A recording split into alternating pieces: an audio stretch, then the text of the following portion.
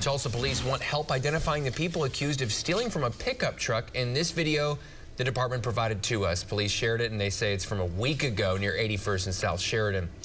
Officers say the two people stole refrigerant from a work truck that was parked outside a house.